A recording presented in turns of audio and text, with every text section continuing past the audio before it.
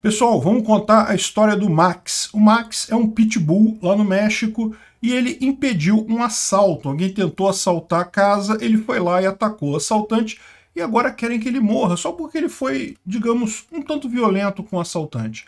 Essa notícia foi sugerida por Dudu Indo, leitor obsoleta e várias outras pessoas. Muito obrigado a quem sugeriu a notícia, obrigado a você que está assistindo nosso vídeo. Se você gosta do nosso conteúdo, por favor, deixe o seu like e se inscreva aqui no canal. Né?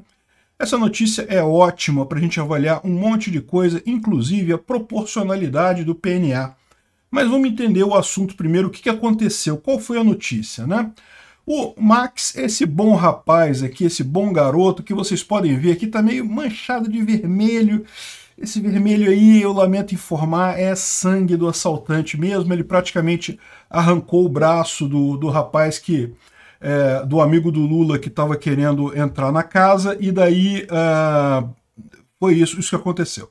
O assaltante tentou entrar na casa para fazer um roubo, não, os, os, donos da casa não estavam lá, isso aconteceu no México, tá? na cidade de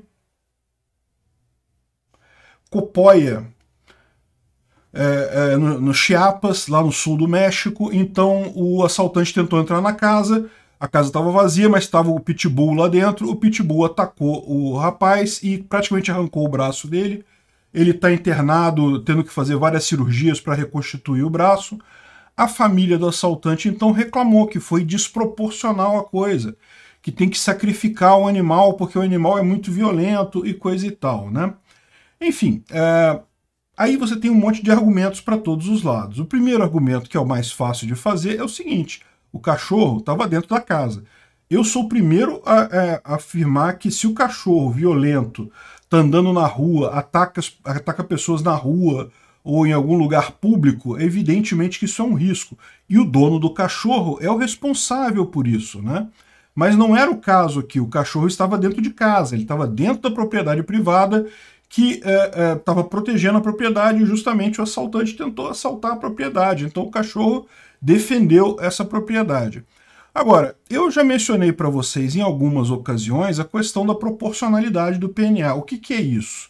O, uh, uh, o PNA permite que você use violência para se defender de uma agressão de outra pessoa. Então, se a pessoa está iniciando agressão contra você, está agredindo a sua propriedade privada, você pode usar violência contra essa pessoa até fazer ela cessar essa agressão.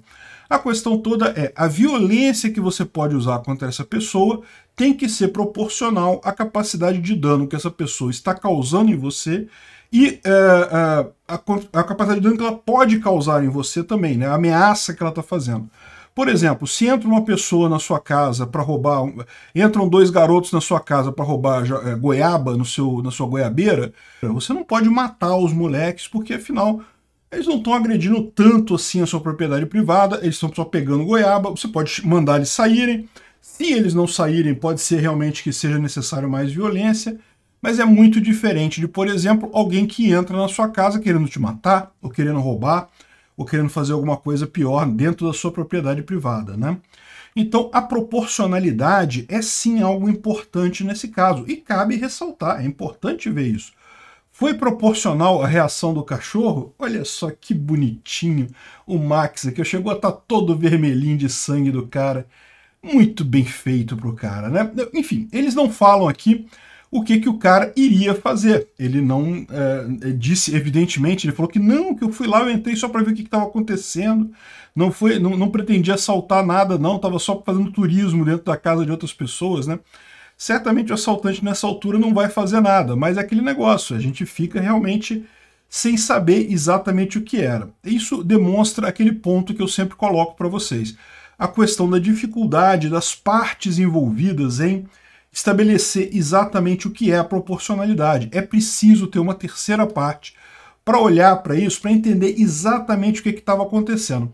Pela matéria aqui, não dá para saber. Né? O rapaz chamado José Arbey, é, ele tentou é, invadir a residência de um casal lá em Chiapas e é, foi para a gente perder o braço e coisa e tal. O Pitbull é, é, realmente defendeu a residência como deveria defender.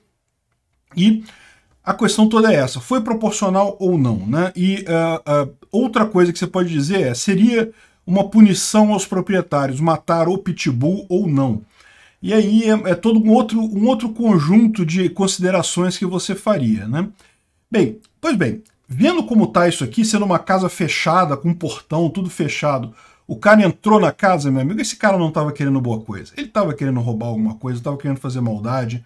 Então eu, sinceramente, de novo, eu acho muito importante nesses casos você ter uma terceira pessoa para julgar, para ver o que está acontecendo, para colher o depoimento do, do, do cara que invadiu, para colher o depoimento de quem estava na casa, para saber se foi proporcional ou não. Mas tudo me leva a crer, nesse caso aqui, que está mais do que justificado. Max é um bom garoto, fez muito bem em ter dado um jeito no braço do assaltante.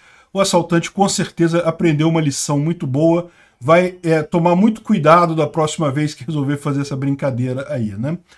Bom, mas aí tá toda essa discussão e coisa e tal, e porque realmente existe um, uma, uma, uma coisa por trás disso que é o risco de cachorros pitbull atacarem outras pessoas em outros lugares. Aí, como eu falei, é outra história completamente diferente. Você iniciar violência com outras pessoas é outra história. Aqui nesse caso não me parece que seja problema algum. O cachorro estava dentro de casa, não fez nada fora da propriedade, fez o que os donos esperavam que ele fizesse, que era justamente defender a propriedade privada, né?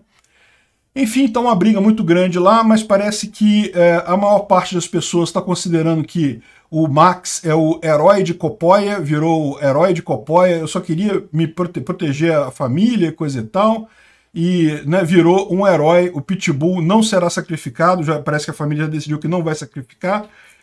Enfim, e aí, o que, que você acha? Você acha que tadinho do ladrão, tadinho do amigo do Lula, ele estava só fazendo turismo residencial em outra casa de outras pessoas. Será que era isso? É, é possível esse negócio? É, isso ia tomar uma cervejinha depois, né? Como o Lula falou, que você pode eh, roubar um celular para tomar uma cervejinha depois, não é isso? Às vezes o rapaz queria só tomar uma cervejinha na casa do pessoal ali, né? Pô, sacanagem, né? Qual que é a sua opinião? Quem tá certo? O Max, o pitbull bolsonarista, ou o amigo do Lula que só queria fazer turismo residencial? Obrigado por assistir o vídeo até o final. Além de curtir, compartilhar e se inscrever no canal, considere se tornar patrocinador com valores a partir de R$ 1,99. Clique no botão Seja Membro abaixo para saber as condições e vantagens de patrocinar o canal. Mais informações sobre o nosso projeto, visite nossos sites indicados na tela.